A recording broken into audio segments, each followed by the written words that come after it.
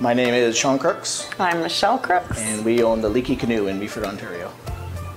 My name is Megan, and I'm the owner of the kitchen in downtown Meaford. Hey, I'm Fran Wensley of Gio and Fran's Italian Eatery.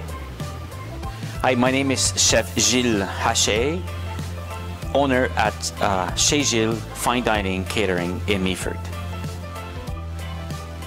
We had to adapt quickly when the pandemic hit. They ordered us to close down, and we did. We took two weeks um, to organize our thoughts, and we came back full swing with takeout. And takeout went really, really well um, up until patios opened. When patios opened, we saw a quick decline in sales, and we adapted quickly by building our dock in five days. And now it's doing really well. Um, there seems to be a great demand. Certainly, it's enjoyable for us to serve people again. Yes, absolutely. I think it's really important that everyone does support the downtown and our municipality. We do bank on having everyone here to support us, and we do like to be able to shop local and keep our businesses and our families here in Meaford. My daughter's been coming with me to work every day since the pandemic, and she's been my helper and the greeter, and it's been wonderful to spend the time with her.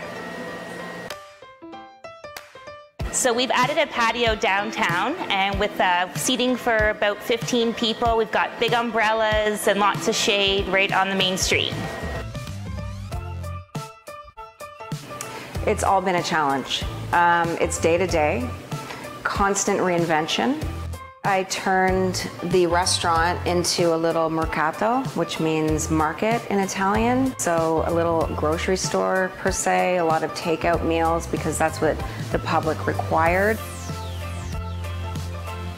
We're taking precautions always um, to, to keep ourselves safe and, and the public safe.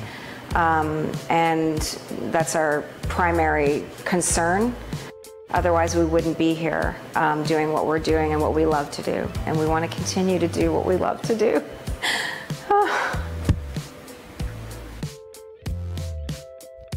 I would just encourage people to pass it on because we need, we need your support. Um, otherwise, we're not going to get through this. One of the uh, biggest challenge that I did face by opening the Chez Fine Dining is to um, to be ready and to spend so many hours to to be sure that you are um, following the regulation. Uh, COVID-19, it's calling us to this word that I'm always carrying in my, my head right now is the safety. You know, how more safe can you be? We love our locals. They keep us going year round. We also love our tourists. Um, they're the ones that keep us going through the winters. So we have all kinds of procedures in place to make sure things are safe and we're good to go to serve everybody. So I know it's been challenging for everyone in downtown Meaford and all around the area just to accommodate for everyone and all the changes that we've had to make for health regulations. But I know that we've all been really supportive of each other and we have done our best. If we're going to be here and, you know, continue to serve you, we need people to open their purses, their wallets. That's inevitable. Um, it, we're not going to make it without them. Meaford is different than uh, any other places that I went to.